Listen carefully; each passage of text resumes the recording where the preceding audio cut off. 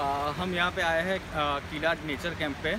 आ, और यहाँ पे नेचुरल एक्टिविटी बहुत सारी हुई है यहाँ पे। जैसे कि आ, रिवर फ्रंट पे हम और रिवर बात ले रहे हैं लास्ट दो दिन से।